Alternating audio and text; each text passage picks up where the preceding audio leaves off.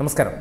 എറണാകുളം മഹാരാജാസ് കോളേജിലെ അഭിമന്യുവിന്റെ കൊലപാതകവും ഈ അടുത്ത് ഇടുക്കി എഞ്ചിനീയറിംഗ് കോളേജിൽ ധീരജ് എന്ന വിദ്യാർത്ഥിയുടെയും കൊലപാതകത്തിന്റെ മുറിവ് കേരളത്തിന്റെ മനസാക്ഷിയിൽ നുണങ്ങിയിട്ടില്ല അതിനു മുന്നേ ഒരു സംഭവം കൂടി ആവർത്തിക്കപ്പെടാനുള്ള സാഹചര്യം കഴിഞ്ഞ ദിവസം മലപ്പുറത്ത് അരങ്ങേറിയിരുന്നു.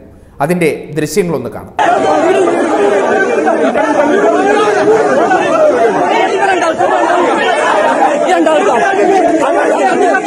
മലപ്പുറം മേൽമുറി പ്രിയദർശിനി കോളേജിലെ വിദ്യാർത്ഥികൾക്ക് നേരെ എസ് ഡി പി ഐ നേതാവിന്റെ കത്തിപ്രയോഗമാണ് ഈ കണ്ട വീഡിയോ. അതായത് വിദ്യാർത്ഥികളുമായിട്ടുള്ള എന്തെങ്കിലും വാക്കുതർക്കം ഉണ്ടാകുന്നുണ്ടെങ്കിൽ പുറത്തുനിന്നുള്ള പ്രവർത്തകർ ഇടുപ്പിൽ കത്തിയും തിരികെയാണ് അവിടെ വരുന്നത്. ഉടനടി കത്തിയും വലിച്ചൂരിക്കൊണ്ട് വിദ്യാർത്ഥികൾക്ക് നേരെ പാഞ്ഞെടുക്കുകയാണ്. അവർക്ക് നേരെ കുത്താൻ ഓങ്ങുകയാണ്. ഇത്തരത്തിൽ ക്രിമിനൽ വൽക്കരിക്കപ്പെട്ട എസ് ഡി പി ഐ പ്രവർത്തകർ അല്ലെങ്കിൽ യൂത്ത് കോൺഗ്രസ് കോൺഗ്രസ് പ്രവർത്തകർ ഈ നാട്ടിൽ വർദ്ധിച്ചു വരുന്നു എന്നതിന്റെ മറ്റൊരു തെളിവായി മാറുകയാണ്. അതായത് എറണാകുളം മഹാരാജാസ് കോളേജിൽ അഭിമന്യുവിനെ കുത്തിക്കൊലപ്പെടുത്തിയ എസ് ഡി പി ഐ ഇതുവരെ കൊലക്കത്തി താഴെ വച്ചിട്ടില്ല എന്ന് വെളിപ്പെടുത്തുന്ന ദൃശ്യമാണ് മലപ്പുറത്ത് നിന്ന് ഇപ്പോൾ പുറത്തു വരുന്നത്. എന്താണ് ഇവർ ഉദ്ദേശിക്കുന്നത്? കലാലയത്തിലെ രാഷ്ട്രീയങ്ങളെയെല്ലാം കത്തിക്ക് മുന്നിൽ അവസാനിപ്പിക്കാമെന്നാണോ അല്ലെങ്കിൽ കത്തിക്കുത്തിൽ ഒടുക്കാമെന്നാണോ നിങ്ങൾ കരുതുന്നത്?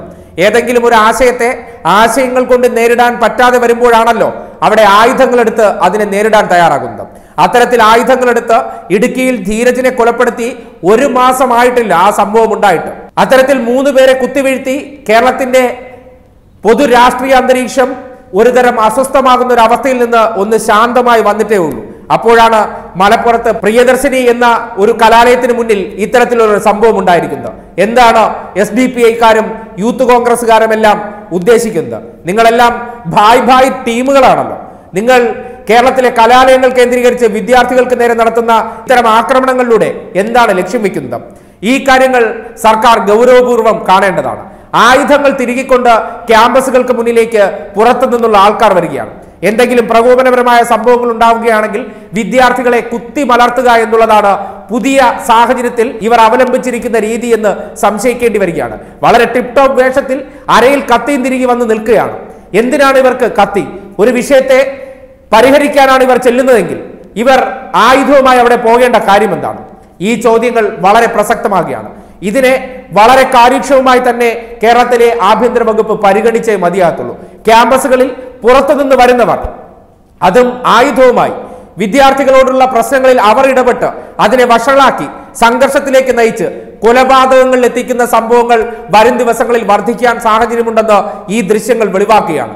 ഈ വ്യക്തി ആരാണെന്നത് സംബന്ധിച്ച് ഇതുവരെ വിവരങ്ങൾ പുറത്തു വന്നിട്ടില്ല. അത് ആരാണെങ്കിലും ശരി ഏത് രാഷ്ട്രീയ തണലിലാണെങ്കിലും ശരി ആലപ്പുഴയിൽ ഉണ്ടായ സംഭവത്തിന്റെ പശ്ചാത്തലത്തിൽ കേരളത്തിൽ പൊതുവെ രാഷ്ട്രീയ സംഘടനകൾക്ക് അവസരമൊരുങ്ങിയതാണ്.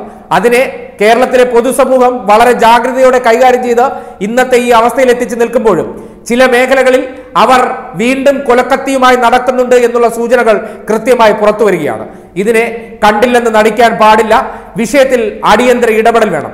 ഏതൊക്കെ മേഖലയിൽ ഇത്തരം സംഘടനകൾ പ്രവർത്തിക്കുന്നുണ്ട് കലാലയങ്ങളിൽ ഇവർ പുറത്തുനിന്ന് സ്വാധീനം ചെലുത്താൻ ശ്രമിക്കുന്നുണ്ട് അതൊക്കെ കണ്ടെത്തേണ്ടതുണ്ട്. ഈ വിഷയവുമായി ബന്ധപ്പെട്ട് ഈ മേഖലയിലെ എസ് ഡി പി പ്രവർത്തകർ ഇത്തരത്തിലുള്ള ഇടപെടലാണോ നടത്തുന്നത്? സോഷ്യൽ മീഡിയയിലൂടെ ഈ പുറത്തു വന്ന ദൃശ്യങ്ങളും ഇത് സംബന്ധിച്ച വിവരങ്ങളും ഇപ്പോൾ പോലീസിന്റെ ശ്രദ്ധയിൽപ്പെട്ട് കേസെടുത്തു എന്നുള്ള ചില വിവരങ്ങളൊക്കെ ലഭിക്കുന്നുണ്ട്. എന്നിരുന്നാലും ആർക്കും പരിക്കേൽക്കാതെ അല്ലെങ്കിൽ ആർക്കും ഈ സംഭവവുമായി ബന്ധപ്പെട്ട് അപകടപ്പെടുത്താതെ വലിയ തോതിലുള്ള സംഘർഷത്തിൽ കലാശിക്കാതെ ഒടുങ്ങിയതായിട്ടുള്ള ചില വിവരങ്ങളും അറിയാൻ സാധിച്ചു. എന്നിരുന്നാലും അത്തരത്തിൽ കത്തിയെടുത്ത് പ്രയോഗിക്കാൻ തയ്യാറായ വ്യക്തി ആരാണോ അയാളെ നിയമത്തിന്റെ മുന്നിൽ കൊണ്ടുവരേണ്ടതുണ്ട് കൊലപാതക ശ്രമത്തിന് കേസെടുക്കേണ്ടതുണ്ട്. ഇത്തരം പ്രവർത്തനങ്ങൾ ചെയ്യുന്നത് ഏത് തരം രാഷ്ട്രീയത്തിന്റെ പിന്നാമ്പുറങ്ങളിൽ നിൽക്കുന്നവരായിരുന്നാലും ശരി അവരെ ഒന്നും അരിയിട്ട് വാഴിക്കാൻ പറ്റിയ കാലഘട്ടമല്ല ഇത്.